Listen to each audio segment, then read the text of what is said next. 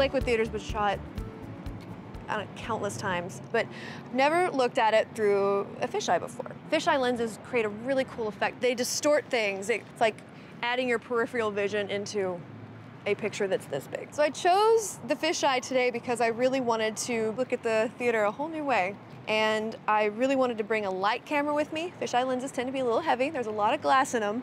So I'm going to use one of my alpha lenses with the NEX camera and I'm gonna do it with the E-mount adapter. One of the reasons fisheye lenses are really good for architecture and things like that too is because you're always going to get a really deep depth of field, meaning the entire picture is going to be in focus. It's like looking through a peephole.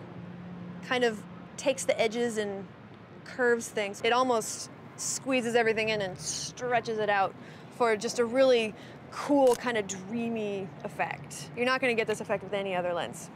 I wanted to show off the tall spire and kind of create a gradual curve with it because it's not curved, it goes straight up and down. But fisheye lenses kind of make everything on the edges of the photo look like they're reaching up towards something. I've found that when you're shooting with a fisheye, it's really good to walk around a lot try a lot of different angles because you really cannot predict what your photo is going to look like until you actually take it.